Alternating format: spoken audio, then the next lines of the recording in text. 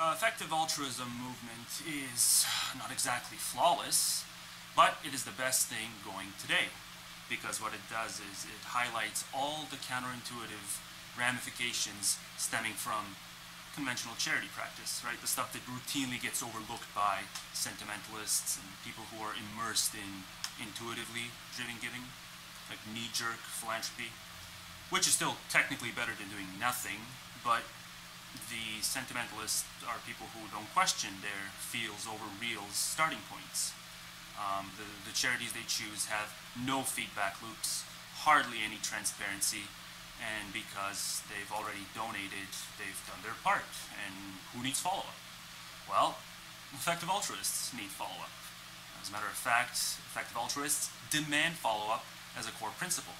See, because effective altruists are all about giving and are highly skeptical of their feels, to the point where gut instincts and intuitions are ultimately rendered useless, or at least next to useless. There might be some minimal overlap between the two, but the moment a given intuition collides with efficacy, the intuition is sent packing. So I've been enticed by that Vulcan-esque element of effective altruism in a slow burn sort of way over the last year, year and a half. And by this stage, I consider their non-proximate, anti-intuitionist methodology to be the most appropriate game plan for doing good better, as the tagline goes. Um, and I want to see more people throw in with them, warts and all, to the point where spreading the results of their research and all the research their associated groups have done um, the last five years or so, as long as they've been operational. Could be over five years though, I'd have to double check. Um, yeah, to the point where doing that seems like the next logical step for this channel. And that speaks to how dismal things are in general. That this, well, what is this? This starkly life-affirming movement, a movement focused mostly on survivalist values, like extending lives and perpetuating positive value, with disvalue minimization taking a backseat to that. Um, this is the closest thing cosmic pessimists have to prioritarianism in action, or some variant of threshold negative utilitarianism in action. Um, there really is nothing else out there putting a magnifying glass on all the waste and all the opportunity costs of donating intuitively. Now, of course, when I look at um, devotees of radical ethics and radical movements in general that are unaffiliated with effective altruism, there are people who are more negative-minded than the average EA but at the same time, these people are highly ideological. Um, they're one-track thinkers, so to speak.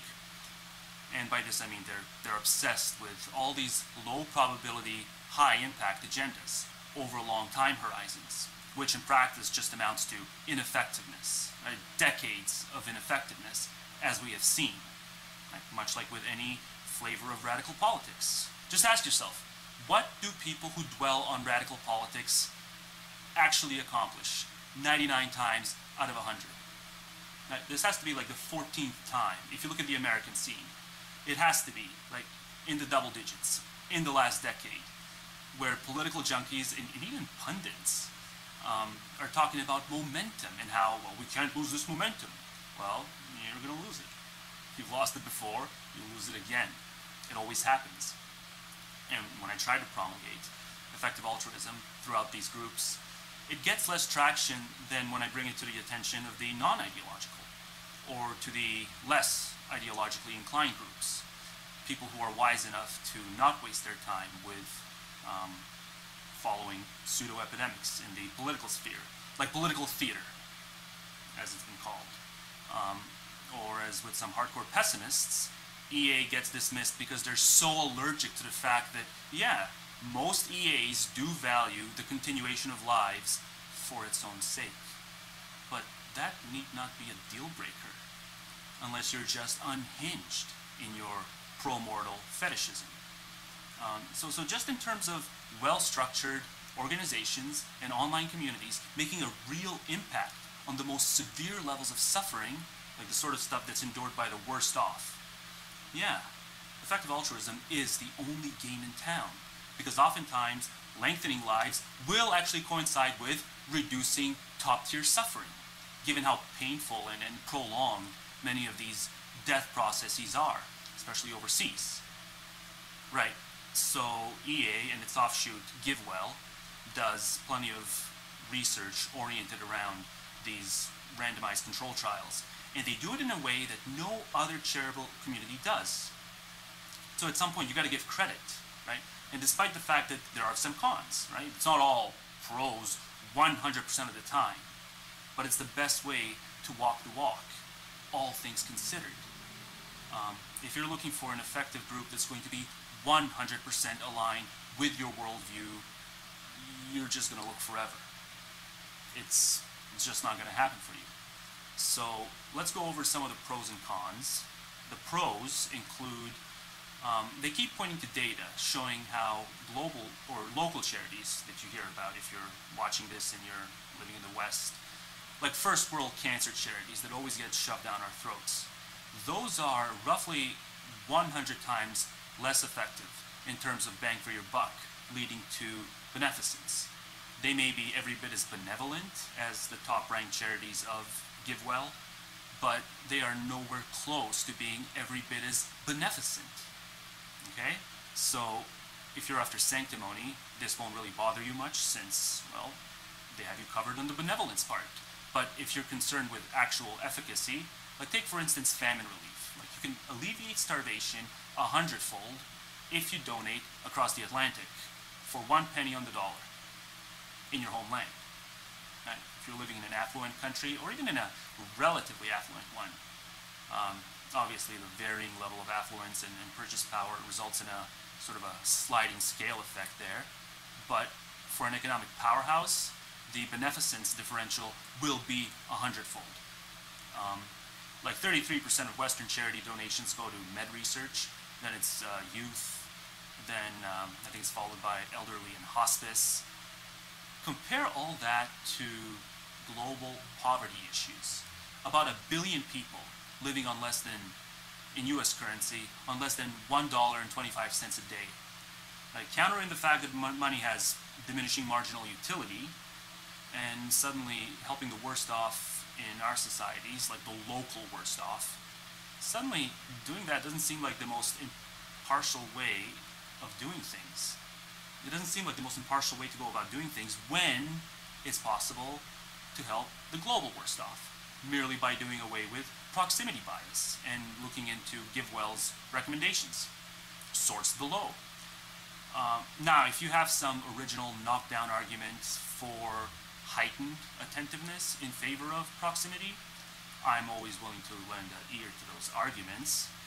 But what you'll find is that people will either stick to their guns in terms of agent relative moral underpinnings, which are against bird's eye view theories of ethics, They'll do that, or they'll point to some practical problem, aka non-moral problem, when it comes to assisting unknown individuals overseas. Problem with that is, it's still technically applicable to assisting perfect strangers who are nearby in your own region, like regional morality. It still has that same stumbling block. You still don't know the character of the person you're donating to, even if the person is a local. Um, the most serious issue with overseas donations, I suppose, would be the question of whether or not um, any of the recipients harbor pernicious anti-Western ideologies. And that is a legit concern. I'll be the first to point out that when faced with an option between a dollar going to Starvin Marvin who is not being indoctrinated and a dollar of someone's going to someone who is being indoctrinated, no one should be flipping any coins to determine which one of these two people gets the money, regardless of the fact that they're equally starved. If you're asking me, I will opt with my dollar for the one who is allowed to think for himself and therefore who is less likely to end up a societal menace or an anti-Western menace of some sort. And I'm not sure to which extent prominent effective altruists share this concern. Um, so now we're getting into the con area, I suppose, if they don't share it, and if there's no way to buffer against recipients who might have potentially detrimental ideologies. Um, in favor of those with more benign worldviews. That's definitely something to look into, and I have sent some emails inquiring about the ins and outs of this, though I haven't heard anything back as of yet. You'd think the overwhelming majority would understand that moral impartiality should not extend to ideologies, and that it should only apply to non cognitive attributes of all persons, um, as we've seen with recent cultural debates in the West. Like accommodationists and, again, sentimentalists will conflate impartial concern with ideological blindness, like universalism. Forget universalism. Focus instead on impartial concern, with all else being the same. Impartialism doesn't mean that when faced with the ultimatum of saving um, a random fanatic from drowning on the right side of the pond versus saving a standard non-combatant benign person from drowning on the left side of the pond, it doesn't mean that decisional apathy or decisional ambivalence is appropriate in any way. No. That might be a rights-based construal or a non-consequentialist formulation of barefaced impartiality, a sort of naive impartiality, but it's never a consequentialist formulation. Consequentialists, especially scalar consequentialists, are only impartial to the extent that all else looks to be equal on the ideological front. Permutation wise, and obviously, cognitive attributes matter. Ideological factors matter. Non cognitive attributes, not so much, or not at all. So, yeah, you control for that, and done deal. And just for the record, I am yet to hear of a case where someone who has had their life prolonged by some EA intervention um, that that person went on to commit some atrocity because the funds were allocated to a hostile territory harboring Islamists or something. Hasn't happened yet. So if anything, the bigger issue would be the beneficiary breeding more impoverished individuals after being leveled up. And I'm sure that many EAs would be open to the proposition of bribing the beneficiaries out of their fertility. Um, if enough would-be EAs make that the conditional uh, deal breaker, like that the condition for joining the movement. Um, another reason why I'm bringing all this to YouTube landscape, because we need more people to make that the condition and the deal breaker. As far as I know, no one's made that the deal breaker as of yet. So they'll take it seriously, as with anything else in politics, right? You have a group that's going to make their presence known, and suddenly, when it comes to swing states or stuff like that, if they're present there at the most, the big candidates will listen to them. Same thing applies here. So there's this idea that reducing scholastic absenteeism in sub-Saharan Africa regions where minors suffer from uh, parasitic intestinal worms, like conventional wisdom says that subsidizing programs that get those kids more textbooks, programs that reduce class size, um, get, get them better teachers, get them better counselors who are more hands-on in terms of follow-through. Like that, that's the way to get better educational results for these kids. But no, turns out that donating to deworming charities is the actual way to get somewhere.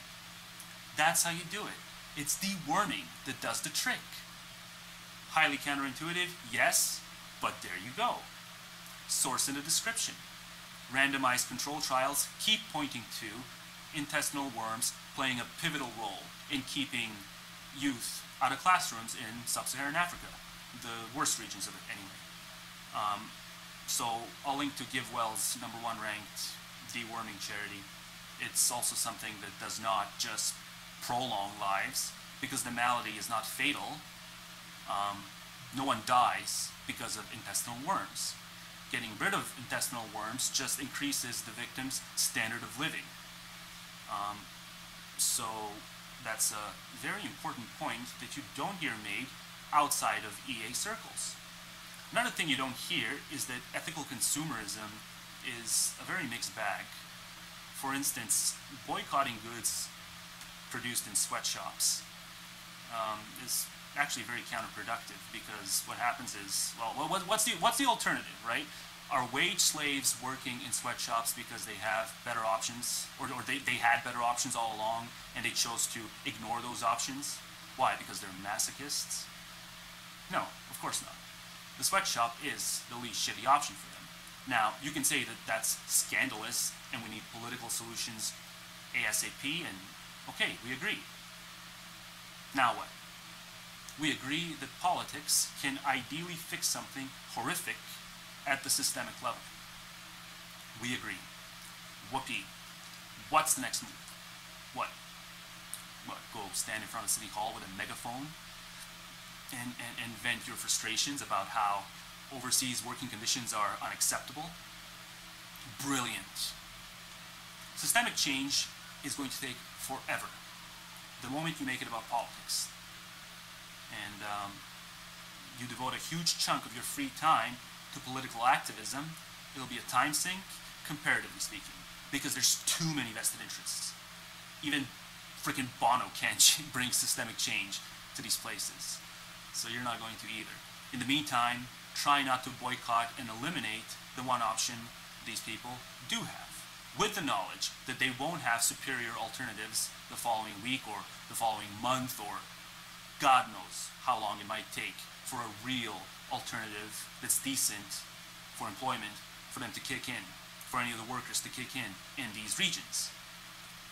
And, and loosely related to that is um, fair trade goods, and they really do achieve next to nothing because only about 4 to 5% of the markup actually goes to ground level farm workers.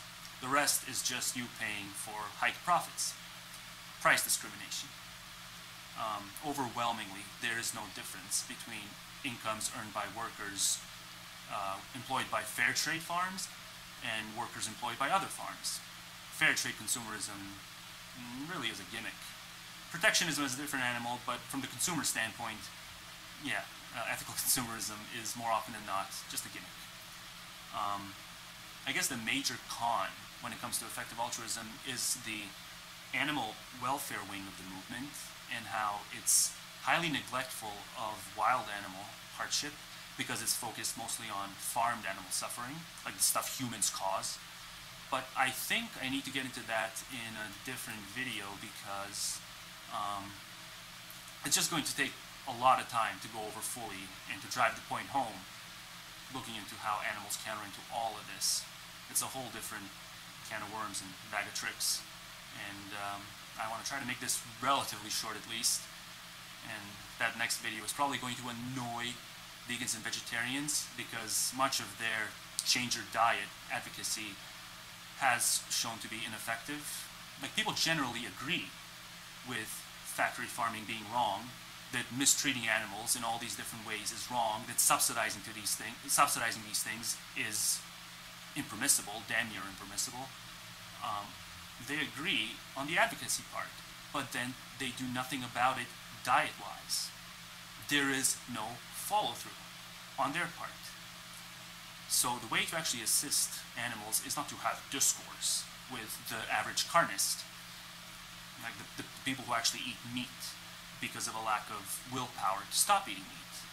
Um, that's not how you actually get to the efficacy. And I'll get into how you get efficacy in a video down the road, probably two videos down the road is when I'll do it.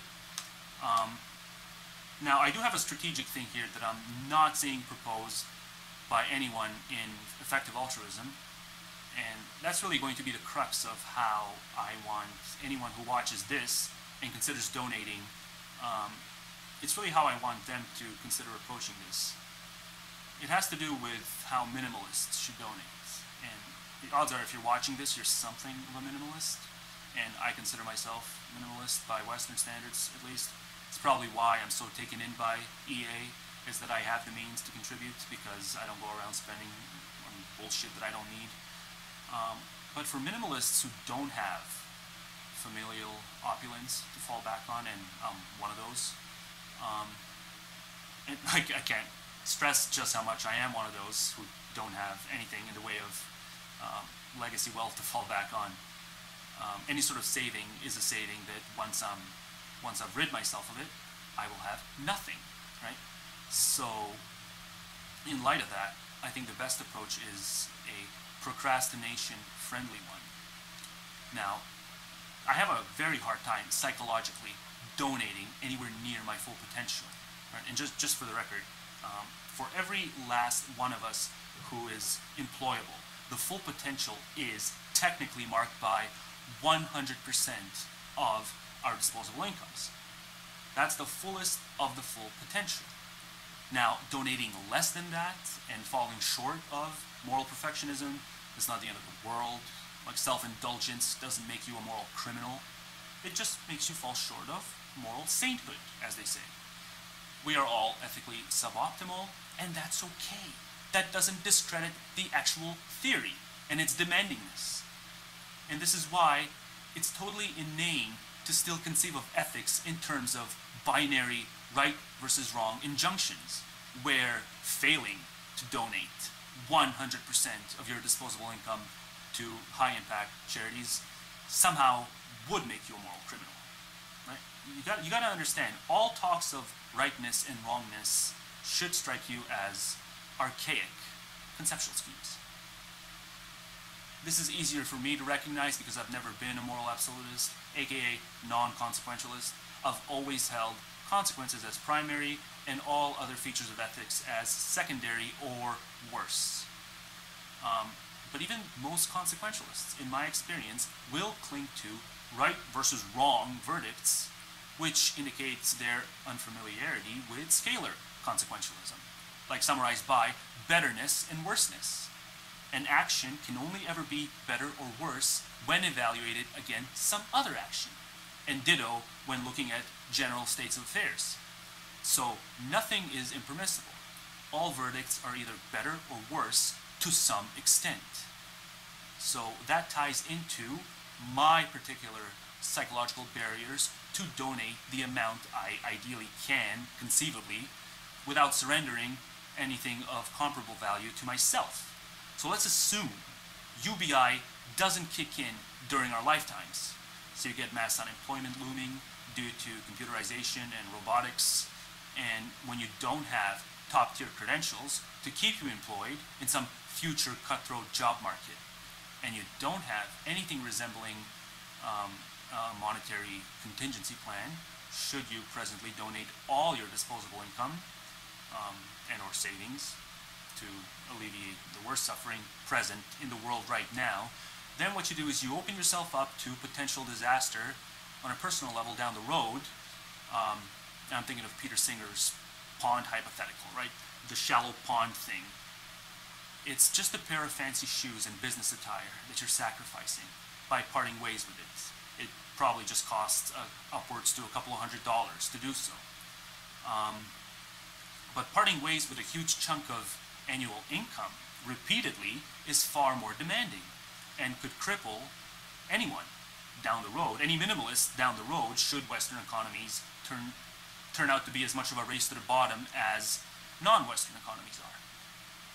Now that's highly speculative because UBI is a possibility, a, a likely one as far as I can tell, but we have to think worst case scenario if we're going to promulgate ethical theories with such demandingness. So, is there a way to be effective and to maintain peace of mind? Um, I guess that would be the ultimate question, right? Of course, it all depends on when you choose to donate. You can be as effective decades from now as you can be today if you donate the comparative amount. Whether you donate it today or decades from now is immaterial. Um, and effective altruists don't discuss this uncertainty element when it comes to the high impact. They talk about how giving makes their lives more fulfilling, and you know um, that's very bourgeoisie of them. I'm happy for them, but it is a sort of bourgeoisie statement. Um, most people don't share their psychological profile. I know I don't. Even if I'm giving as low as 10% of my annual income, which is what they recommend most individuals individuals interested in joining the movement do, um, is to start with 10% and see where it goes. But even this could cause me to have some worries. Like, what if that 10% annually extended to a decade of giving ends up being the difference maker for someone sinking or swimming when shit hits the fan, um, the Western fan, as it were. This is a legitimate, understandable psychological barrier to giving. And I haven't seen it addressed, at least not by any of the prominent EAs. Um, and I don't know why they haven't discussed it broadly because there's an easy way around it. You request a reallocation of your savings and assets after you've croaked. Doing nothing in the here and now is fine, but doing nothing prospectively means the immediate or extended family members of yours, who you may not like, but even if you do like, it doesn't matter because we've established impartiality as a baseline, right? So they get your savings and assets. Or maybe your government gets it, at least some of it. And that's hardly any better because, like I said, there's too many vested interests in politics for your government to ever really put that money to effective use in the way high impact EAs would.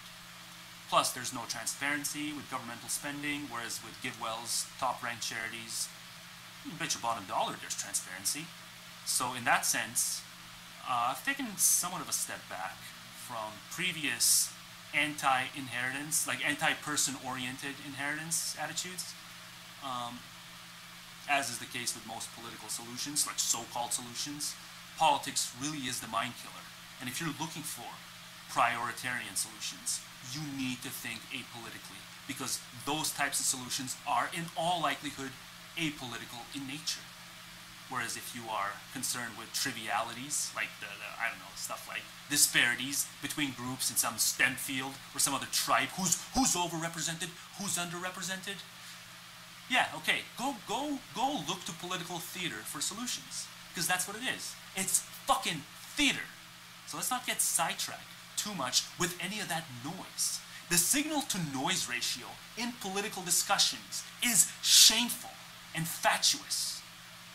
And it gets worse and worse on a yearly basis because more, more, more and more political junkies keep coming in.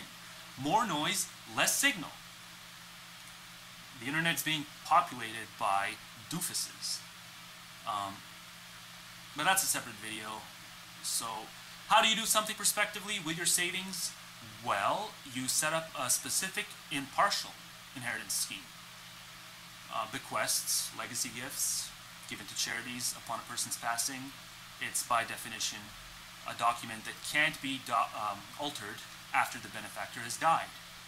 Meaning, is the sort of thing you want to process immediately and you want to define all the parameters beforehand.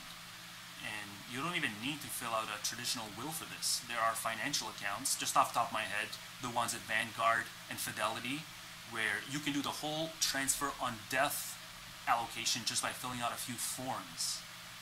Um, so I'll link to an article showing that American retirees leave an average of 177,000. And I think it's relevant for me to uh, point to this average because most of my clicks, most clicks for my viewership are American clicks. Um, and I also like to think that the individuals who are sold on inheritance and partiality generate the majority of my viewership. So I don't have to make any sort of ground level argument about how A leads to B and B leads to C. All I have to do is make the methodological argument, which I guess I can file under X leads to Y and Y leads to Z.